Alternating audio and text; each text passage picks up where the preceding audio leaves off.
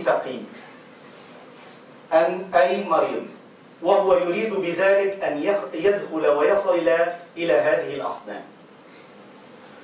ومر الناس به فلما فرغوا أو كادوا يفرغون ويذهبون إلى مكان عيدهم قال في نفسه كما حكى لنا رب العزة في في سورة الأنبياء وتالله لأكيدن أصنامكم بعد أن تولوا مدبرين. تالله بمعنى والله تاء القسم يقسم. لأكيدن أصنامكم بعد أن تولوا تولوا مدبرين. إذا رحتوا شوفوا إيش في الأصنام هذه التي تدعونها آلهة. جاء إليها سيدنا إبراهيم فدخل إلى البيت الذي وضعوها فيه وكانت عددا كبيرا من الأصنام. صفوها بجانب بعضها البعض ووضعوا في وسطها أكبرها حجما. وأعظمها شكلا. وكانوا يقفون عنده فيعظمونه أكثر من غير هذا الصنم. وكان قد أعد فأسا أخذها بيده وقف أمام هذه الأصنام. يريد بهذه الكلمات أن يثبت بداخل نفسه ولغيره هذا الشيء. قال ألا تأكلون؟ قدامكم طعام كثير حطيلكم يعني استفيدوا منه. سبحان الله لا يأكلون ولا يشربون ولا يضرون ولا ينفعون سبحان الله الإنسان حينما يتفكر يا أيها الإخوة والله عجيب. أنا أقول يعني من باب المقامات كل شيء مقامات في من هذا الشيء. صحيح. يعني الذي يعبد أصناما والذي يعبد إنسانا. قد يكون أحيانا الذي يعبد إنسانا أقل في خفة العقل من الذي يعبد حجرا. قد يكون أقول من باب مقامات وكله كفر وكله ضلال وكله إلحاد وكله خروج عن الملة. يعني إنسان يفعل يتصرف يقوم قوي شجاع أمين خلوق عاقل. مثلا يغتر بصفاته فيقول هذا يفعل أو هكذا يصنع.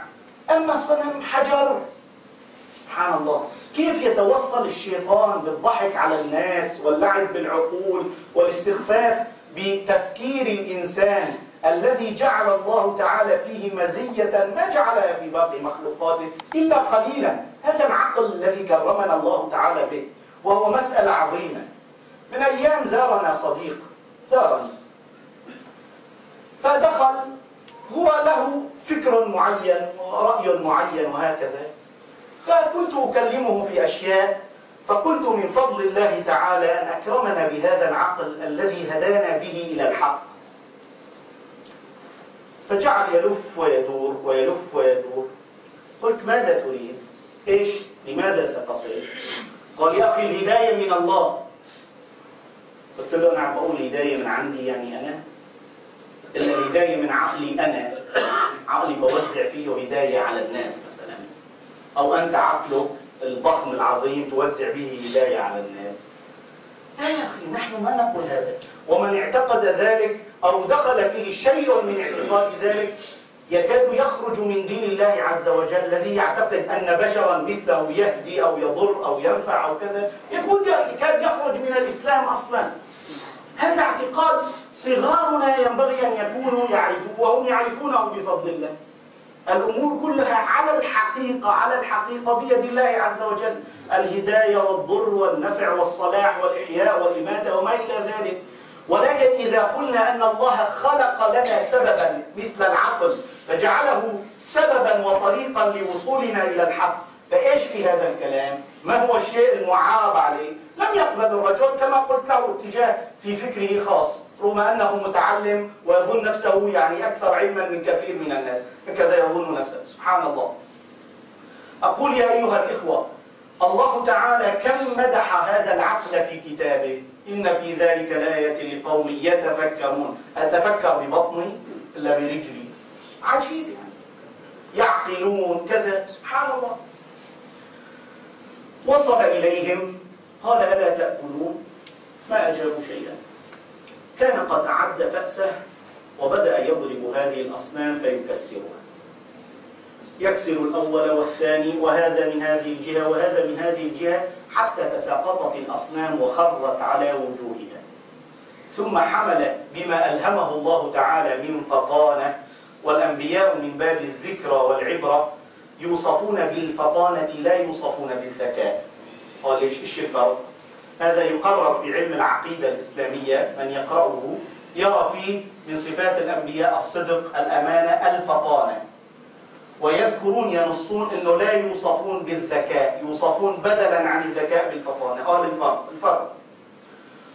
الذكاء شيء مم شيء ممدوح أحيانا وقد يكون مذموما مذموما أحيانا. قال يعني مثال اللص الذي يسرق البيوت ذكي أم غبي؟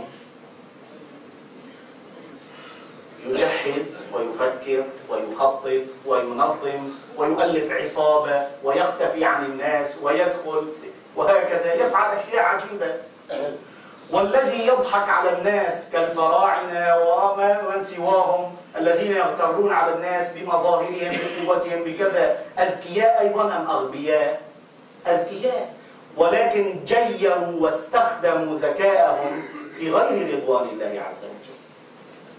أما الفطن فهو الذي يستخدم ذكاءه في رضوان الله حصرا.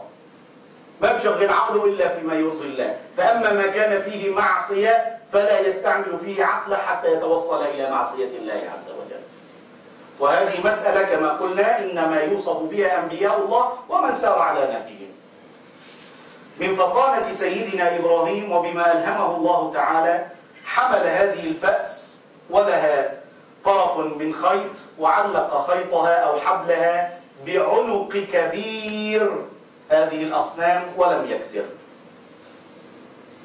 وعاد هؤلاء القوم فرحين مسرورين من عيدهم ودخلوا ليأخذوا أطعمتهم وأشربتهم التي تبركت بقربها من هذه الأصنام.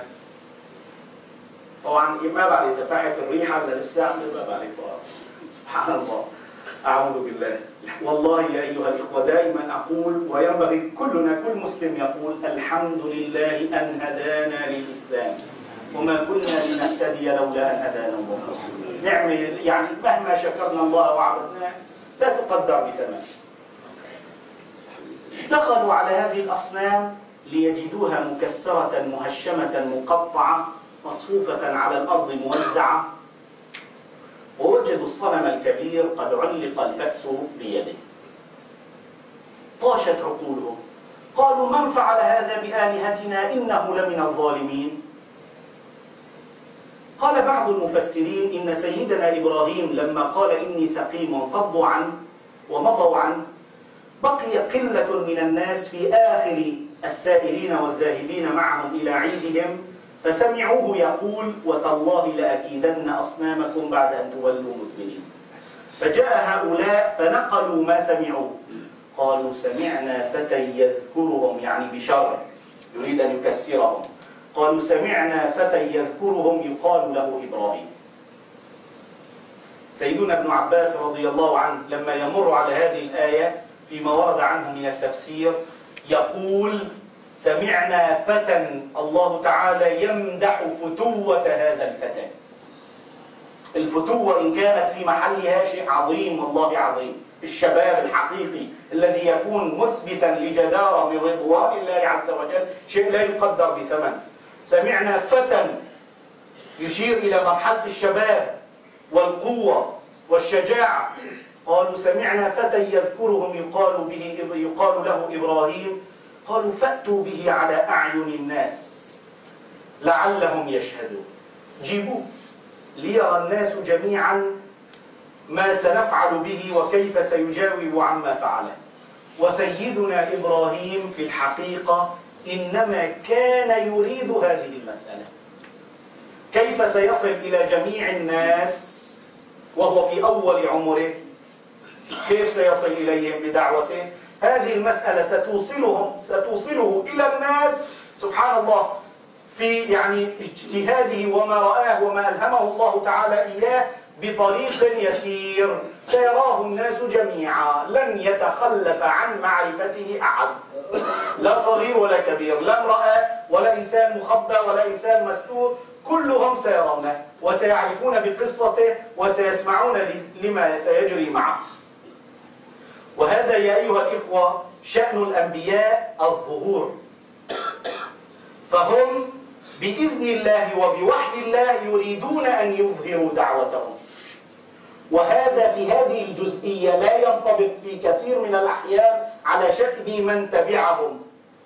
أنا إذا أحببت الظهور أمامكم يدخل علي الشيطان فيقول ضرب مشيخة وساوي حالك شيخ الإسلام. قال لي يصيروا تلاميذ الخلق. فيضيع أجري وثوابي كله. والعياذ بالله. وأنقلب من المثوبة إلى العقوبة والعياذ بالله عز وجل.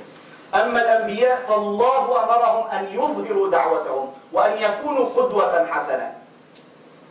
أنا إن شاء الله أنوي ولكن قد يداخلني الشيطان كما قلنا فيأخذني إلى موضوع الرياء وما إلى ذلك وحب الشهرة فبهذا والعياذ بالله يذهب الأجر. أما الأنبياء لا. هم مخلصون. إنه من عبادنا المخلصين. المخلص كأمثالنا. نجاهد أنفسنا مشان نخلص. الشيطان قال لك لا شوف حالك كذا. تجاهد تبذل الجهد. أما المخلص فقد أخلصه الله تعالى من هذه الشوائب خالص. ما بتدخل عليها الشوائب أبدا كالأنبياء. جاءوا بسيدنا إبراهيم عليه السلام ليقرروه عن فعلته هذه. التي وجدوها من أكبر الأفعال. فكيف التقوا به وماذا كلموه؟ ذاك موعدنا القادم إن شاء الله تعالى. نفعنا الله بما قلناه وتعلمناه الحمد لله رب العالمين.